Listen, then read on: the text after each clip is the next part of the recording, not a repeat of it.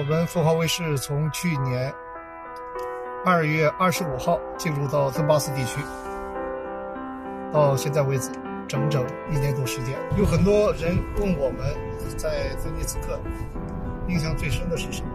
战场家里天天都是尸体、炮火。最大的感受啊，我们住的地方没有水，因为。乌克兰方面切断了顿涅茨克的民用用水，所以呢，我们基本上都是使用的是工业用水。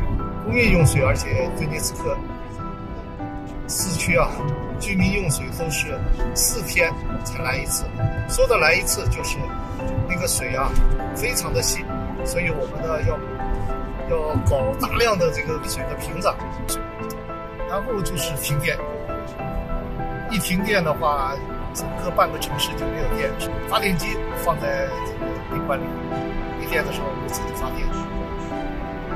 最困难的就是吃啊，这有时候买一个面包，啃吧啃吧，整点咸菜，基本上一年就这么过来。